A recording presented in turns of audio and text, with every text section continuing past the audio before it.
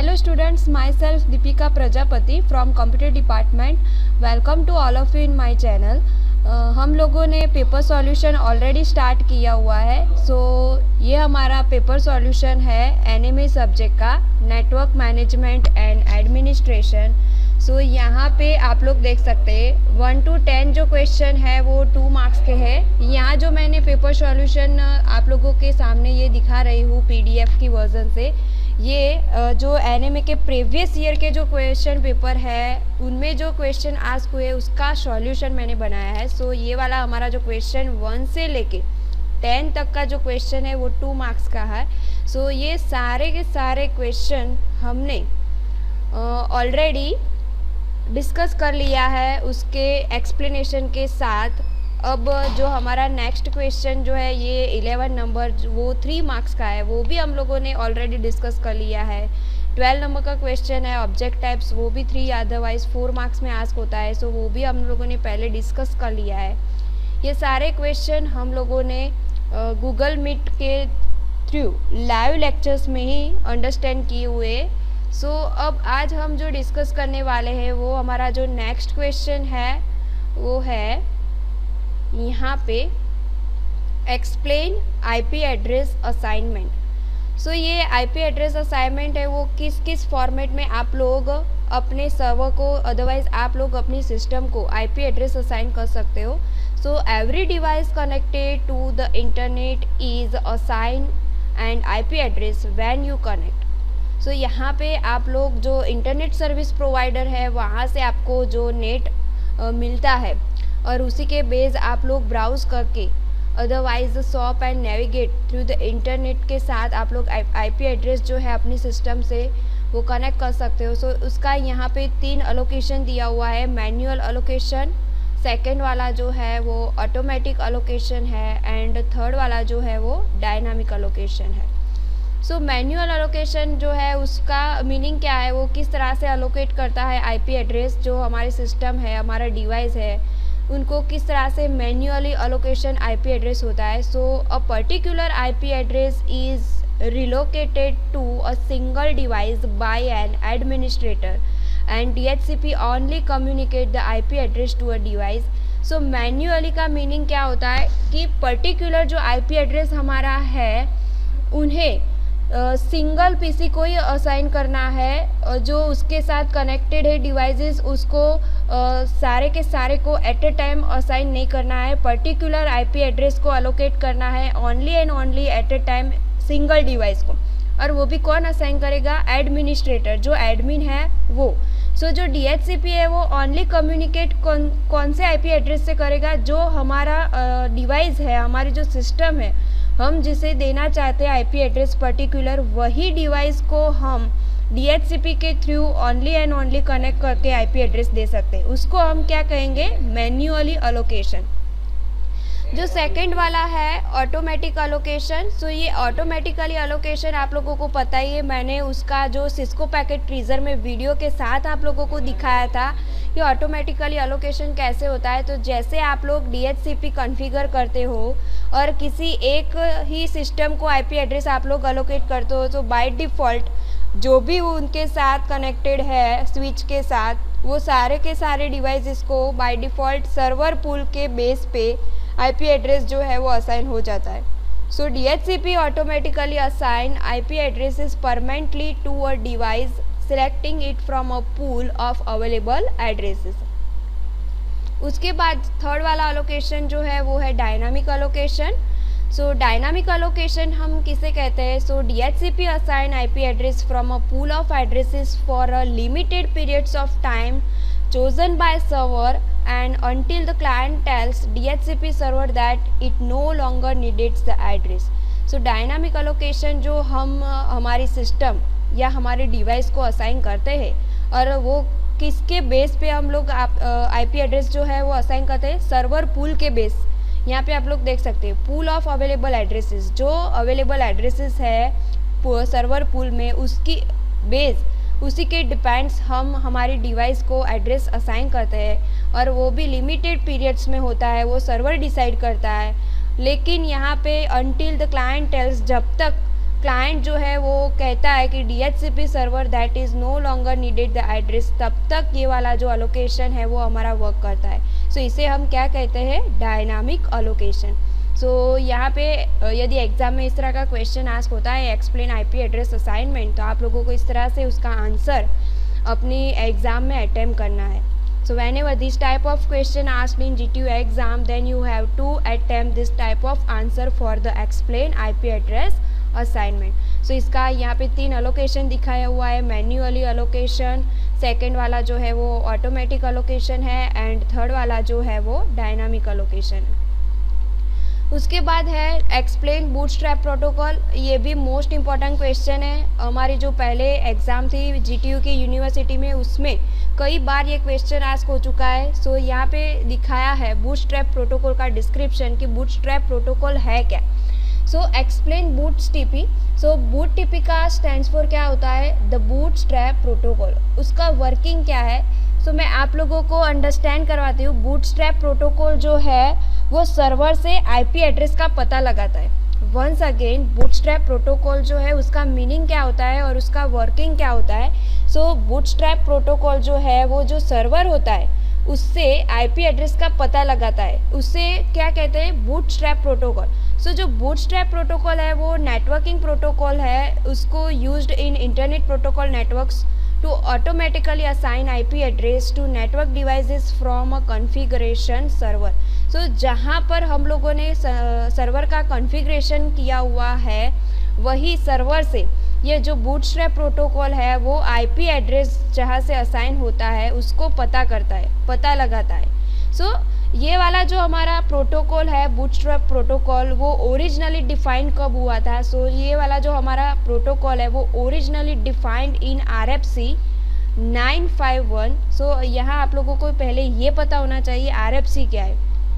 So are F C का stand for होता है रिक्वेस्ट फॉर कमेंट ये वाला जो nine four sorry nine five one है R F C nine five one ये उसका स्टैंडर्ड Uh, हम इसको क्या कह सकते हैं? One like one like standard version of bootstrap protocol so अभी ये वाला जो बूट स्ट्रैप प्रोटोकॉल है आर एफ़ सी वो अभी नहीं अभी जो नाउ हमारी जनरल डे सिस्टम है रियल लाइफ अब ये बूट स्ट्रैप प्रोटोकॉल वर्क नहीं करता लेकिन इसके अलावा जो उसका एडवांस वर्किंग है वो डीएचसीपी कर रहा है। सो so, ये बूटस्ट्रैप प्रोटोकॉल है वो कब फाइंड आउट हुआ था? सो so, वो जो फाइंड आउट हुआ था R F C nine five one के बेस पे उसके पहले जो हमारा प्रोटोकॉल अनदर था आर ए आर पी जिसको हम रिवर्स एड्रेस रिजोल्यूशन प्रोटोकॉल भी कह सकते। हैं सो so, जो आर ए आर पी हम लोग यूज़ करते थे उसका एडवांस फीचर लेकर आया था बूटस्ट्रैप प्रोटोकॉल और बूटस्ट्रैप प्रोटोकॉल का भी अभी एडवांस फीचर लेकर आया है DHCP protocol it means dynamic host configuration protocol so ये वाला बूटस्ट्रैप प्रोटोकॉल है, वो R F C nine five one जो है, वो अभी इसको नाइन फाइव वन नहीं कहते, उसका जो स्टैंडर्ड वर्जन है, वो आई थिंक चेंज हो चुका है। लेकिन ये जो है, वो एडवांस लेकर आया था किसका? तो आर का। रिवर्स एड्रेस रिजोल्यूशन प्रोटोकॉल का। सो so, अब हम मैं आपको उसका ऑपरेशन के अलावा उसका वर्किंग ये आप लोगों को दिखाती हूँ उसका डिस्क्रिप्शन पॉइंट के साथ तो आप लोग देख सकते हैं यहाँ पे वीडियो में। मैं आप लोगों को दिखाती हूँ। यहाँ पे जो बूट स्ट्रैप प्रोटोकॉल है वो नेटवर्किंग प्रोटोकॉल है and used by clients for obtaining IP address from a server इसका मीनिंग ये होता है कि बूट स्ट्रैप प्रोटोकॉल जो है वो सर्वर से आईपी एड्रेस का पता लगा सकते हैं। और जो हमारा R P R A R P जो है उसका मीनिंग है रिवर्स एड्रेस रिजोल्यूशन प्रोटोकॉल उसको रिप्लेस करने के लिए बूट स्ट्रैप प्रोटोकॉल है, उसको फाइंड आउट किया गया। So it was originally defined as a specification R F C nine five one जो अभी अभी हमने स्टडी किया। वो जो आरएआरपी जो है, यहाँ पे आप लोग देख सकते हैं रिवर्स एड्रेस रिजोल्यूशन प्रोटोकॉल है, उसको रिप्लेस करने के लिए ये जो बूटस्ट्रैप प्रोटोकॉल है, उसको डिफाइन किया गया है। और उसका स्पेसिफिकेशन क्या है? R F C nine five one nine five one R F C is nothing but it stand for one like version standard version R F C का फुल फॉर्म होता है। Request for comment the R A R P reverse address resolution protocol उसको replace करने के लिए ये find out किया गया है और अभी उसको हम R F C nine zero three भी कह सकते हैं। सो so, प्रोटोकॉल है वो आर ए आर पी को रिप्लेस करने के लिए फाइंड आउट किया गया है।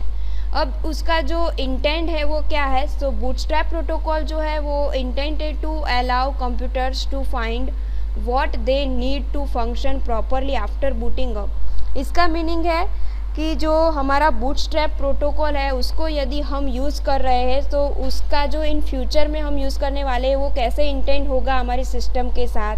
सो so, यहाँ पे अब देख सकते हैं जो बूट स्ट्रैप प्रोटोकॉल है उसको भी रिप्लेस करने के लिए अभी क्या आ गया है DHCP protocol dynamic host configuration protocol वो इससे भी ज़्यादा मोर फ्लेक्सिबल है वो इससे भी ज़्यादा फीचर्स हमें देता है।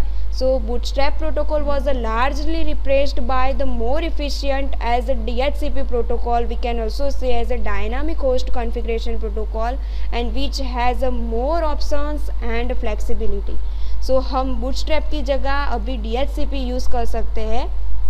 And the bootstrap protocol is use to establish the network connection during a computers initial boot up during the bootstrap proto uh, sorry bootstrap processes of our system.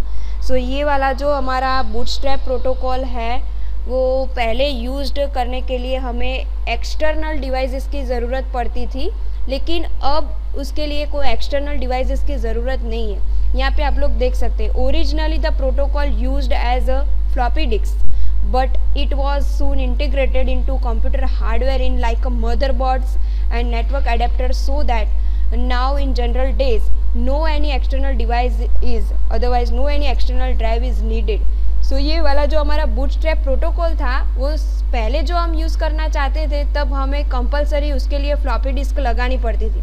यदि हमारे पास फ्लॉपी डिस्क नहीं होती तो हम boot strap जो protocol है, उसको use नहीं कर सकते थे। लेकिन अब जो उसका इंटीग्रेटेड हो चुका है तो अब जो बूट स्ट्रैप प्रोटोकॉल है, वो हमारा कंप्यूटर हार्डवेयर में ही स्टोर हो जाता है मदरबोर्ड में या नेटवर्क एडेप्टर में। सो so, उसके लिए अब हमें जो एक्सटर्नल ड्राइव जो है उसकी ज़रूरत नहीं पड़ती है। So that's why so that no any external drive is needed for storing a bootstrap protocol जैसे कि पहले फ्लॉपी डिस्क चाहिए थी लेकिन अब उसकी ज़रूरत नहीं है। Bootstrap protocol is a broadcast protocol as it needs to send a message out to all the available hosts in the network in order to get answer or resources. आप लोगों को पता है कि बूटस्ट्रैप प्रोटोकॉल का working क्या है? Server से आईपी एड्रेस को पता लगाना। लेकिन बूटस्ट्रैप प्रोटोकॉल है, उसको पता नहीं है कि कौन सा सर्वर हमें आईपी एड्रेस देगा। सो बूटस्ट्रैप प्रोटोकॉल क्या करेगा? उसका वर्किंग कैसे करेगा? हाउ इट वर्क्स सो जो बूटस्ट्रैप प्रोटोकॉल जो है, उसको आईपी एड्रेस पता लगाना है तो वो किस सर्वर से आईपी एड्रेस पता लगेगा लगाएगा, उसको पता नहीं है। सो so, हम लोग जो रिक्वेस्ट सेंड कर रहे हैं सर्वर को आईपी एड्रेस पता लगाने के लिए सो so, यहाँ पे क्या होगा? यदि क्लाइंट को मालूम ही नहीं है कि उसका जो आईपी एड्रेस सर्वर से मिलने वाला है वो कौन से सर्वर से मिलेगा तो वो ब्रॉडकास्ट कर देगा। उसको पूरी जो नेटवर्किंग की सिस्टम है वहाँ पे फैला देगा अपना आईपी एड्रेस और जब तक उसका जो आईपी एड्रेस है वो वर्किंग नहीं करता तब तक ये जो हमारा ब्रॉडकास्ट किया हुआ है बूटस्टेप प्रोटोकॉल का आईपी एड्रेस वो कौन से सर्वर से मिलने मिलने वाला है, उसको मालूम नहीं है क्लाइंट को तो वो एक एजेंट को यूज़ करेगा।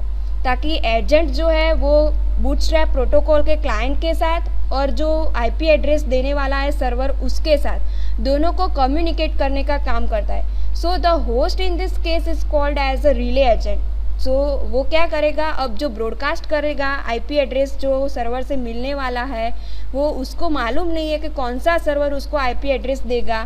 इसके लिए वो क्या करेगा? रिले एजेंट का यूज़ करेगा। सो रिले एजेंट क्या करता है? रिले एजेंट जो है वो हमारा बूटस्ट्रैप प्रोटोकॉल क्लाइंट जो है जो आईपी एड्रेस रिक्वेस्ट करता है लेने के लिए उसके बेस और हमारा जो सर्वर है जो आईपी एड्रेस का रिस्पांस देने वाला है उसके बेस दोनों के बिटवीन का कम्युनिकेशन करने का काम करता है हमारा relay agent so the relay agent knows the unicast address of our bootstrap protocol server अब नेक्स्ट वाला जो हमारा पॉइंट है तो वैन एवर जो हमारा आ, कोई सर्वर है वो बूटस्ट्रैप प्रोटोकॉल का आईपी एड्रेस कैचअप करता है फाइंड आउट करता है उसको पकड़ में ले लेता है तो वो क्या करता है? एक पैकेट में स्टोर करता है। और जो पैकेट में स्टोर हो जाने के बाद वो फिर से जो हमारा बिटवीन का एजेंट है, रिले एजेंट, उसी को सेंड करता है। और जो रिले एजेंट है, वो फिर से बूटस्ट्रैप प्रोटोकॉल क्लाइंट को सेंड करता है। सो डायरेक्टली सर्वर है, वो डायरेक्टली क्लाइंट को सेंड नहीं करेगा। सर्वर जिसने आईपी एड्रेस कैचअप किया है, वो पहले किसको भेजेगा? जो हमारा रिले एजेंट है, उसको।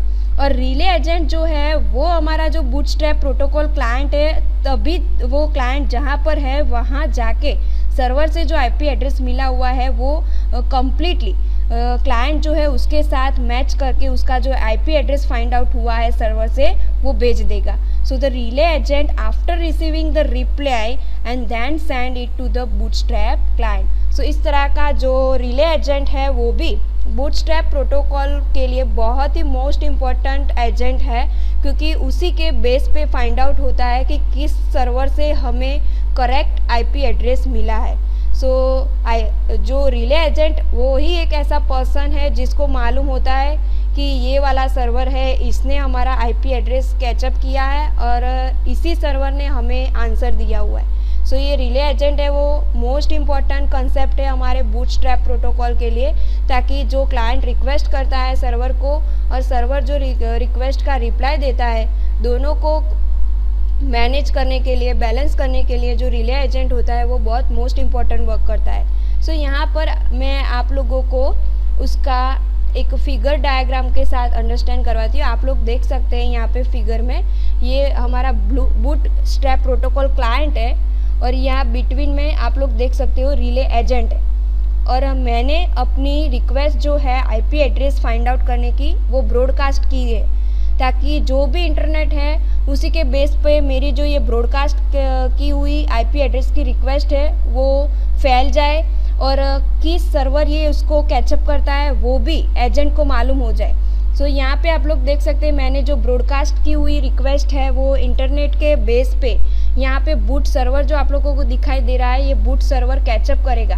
और जैसे ही ये बूट सर्वर कैचअप करता है हमारा जो ब्रॉडकास्ट का रिक्वेस्ट है वो कैचअप करने के बाद मुझे यूनिकास्ट रिक्वेस्ट में ही इंटरनेट के बेस के माध्यम से रिले एजेंट को देगा पहले आंसर और ये रिले एजेंट है वो ही मुझे यहाँ पे आंसर देगा कि तुम्हारा आईपी एड्रेस का जो रिप्लाई है वो इस सर्वर से हमें मालूम हुआ है। सो so, इस तरह का जो आप लोगों को फिगर डायग्राम दिखाया गया है वो हमारा बूटस्ट्रैप प्रोटोकॉल का है। सो आई होप आप लोगों को इसका कंसेप्ट अच्छी तरह से अंडरस्टैंड हो गया होगा। सो so, यहाँ पे आप लोग देख सकते हैं उसका ऑपरेशन कैसे परफॉर्म होता है। सो so, यहाँ पे क्लाइंट होता है वो रिक्वेस्ट करता है सर्वर को और सर्वर उसका रिस्पॉन्स देता है। और ठीक आप लोगों को पता लगाना है कि किस सर्वर से हमें रिस्पॉन्स मिला है तो उसके लिए आप लोगों को एजेंट को यूज़ करना पड़ता है। So two modes of operation होते हैं request and reply and request contains clients hardware address and IP address if known it may contain a requested server usually contains the name of the file to use for booting this client, and response from the server contains answer to the request. So ये वाला हमारा जो question है, वो जी की exam में previous year के question paper में आस्क हो चुका है और आने वाली हमारी जो एग्ज़ाम है, उसमें भी आस्क होने वाला है। सो इसीलिए ये वाला क्वेश्चन बहुत ही मोस्ट इंपॉर्टेंट है।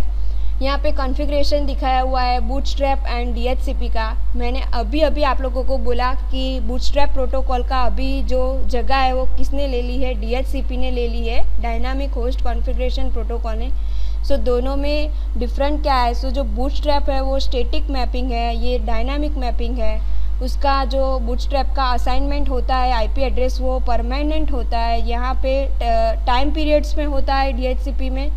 ये सपोर्ट फॉर कॉन्फ़िगरेशन पैरामीटर में ही करता है लेकिन यहाँ पे supports over twenty configuration parameter में होता है।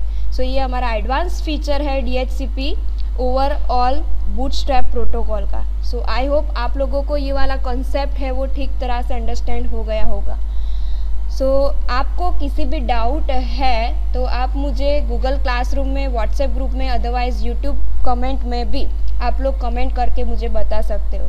Okay so thanks to all of you अब हम नेक्स्ट लेक्चर में मिलेंगे और हमारा जो नेक्स्ट टॉपिक जो होगा हम उसको देखेंगे how to add user account और उसका स्टेप हमें एक्सप्लेन करना है इस तरह से स्क्रीनशॉट ड्रॉ करके। सो so, वो हम नेक्स्ट लेक्चर में अब कवर करेंगे okay so once again thanks to all of you